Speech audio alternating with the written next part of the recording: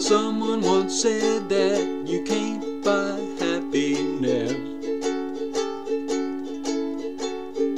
Yes, someone once told me that you can't buy happiness.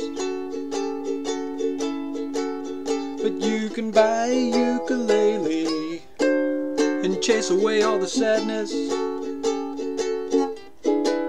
Well, you can learn three chords and strum on those nylon strings. Just three or four chords on those nylon or possibly monofilament strings. No, you can't buy happiness, but you can buy a ukulele. And that's pretty much the same thing.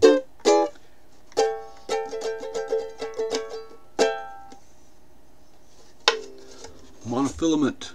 Purple. I don't know if you can see it. Purple monofilament. New strings. First time I've used the new strings